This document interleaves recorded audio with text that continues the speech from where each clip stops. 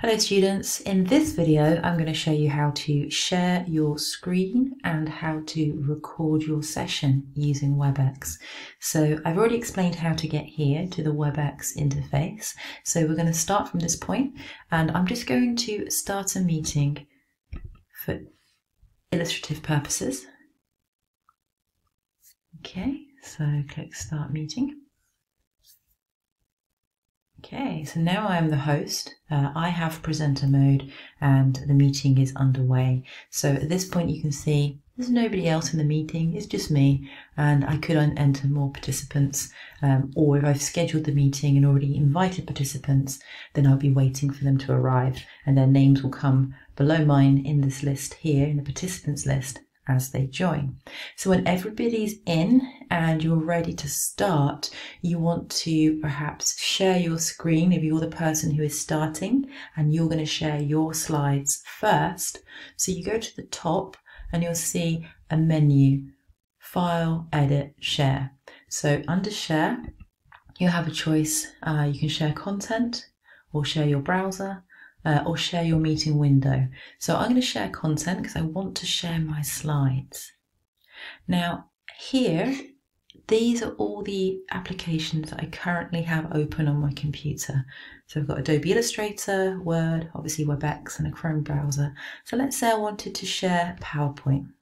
So I'm going to click PowerPoint so I can share my slides. So now you're seeing my slides and I can click through them and talk you through my ideas and concepts.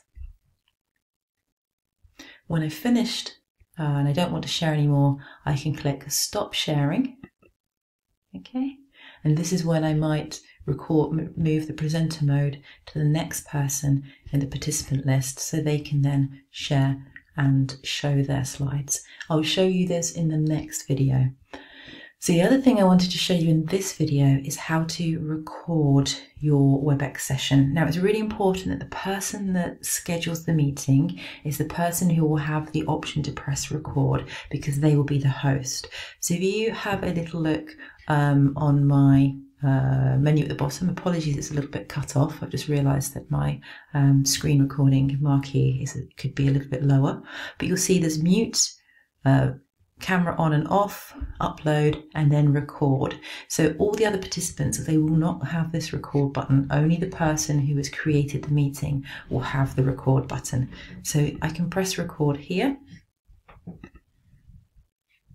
and it will connect to the recording services. So I have a little countdown timer and I know that my WebEx is being recorded.